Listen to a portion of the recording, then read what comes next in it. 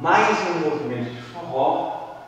Então, dando continuidade no passo da aula anterior, o que a gente fez? A gente fez aquela abertura, dando, passou para o outro lado, fez a meia ponte. Agora a gente vai girar duas vezes, vai para a frente da dama e acabou o passo. Como é que faz isso?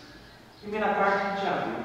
Abre, gira, pegou a mão da dama, olhei tudo aqui, mas até aqui chegamos, tá? Aqui, eu vou girar dama duas vezes. Então eu giro, giro de novo e parou. Quando a gente chega aqui, a dama acabou de pisar com a perna esquerda dela, a direita está livre. A gente leva ela para trás, entra na frente e volta para a base.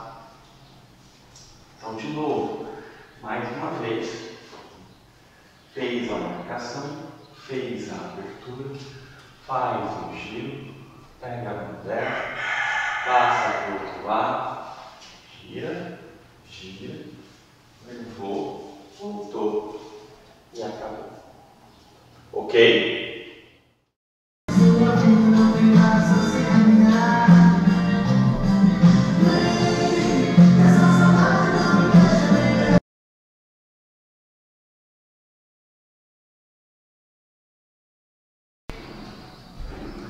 Mais um movimento de samba, dando continuidade, o movimento do Robin Taé, a gente fez o mesmo movimento da aula passada, só que agora a gente faz uma balança corre-corre, enquanto a gente faz uma escova. Como que a gente faz isso? Fez base, fez gancho redondo, fez as escovas.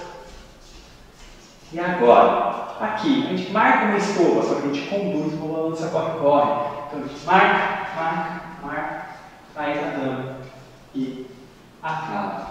Mais uma vez. Sai de lado. Fecha o redondo. Escova, escova, escova, marca. Escova e acabou. Ok?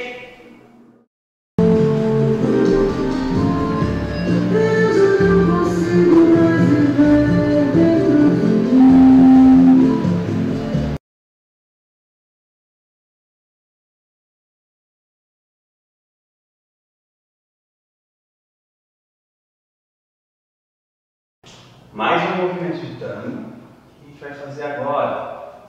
Vamos ver que a gente vai sair indo atrás. Só que a gente muda a direção e vai à frente. Como é que faz isso? Da base, a gente pode sair com a dama ao já, caminhando com a dama. E já fazendo 180 graus aqui. Então, eu travo a minha dama e ando com ela, indo para frente. De novo mais uma vez.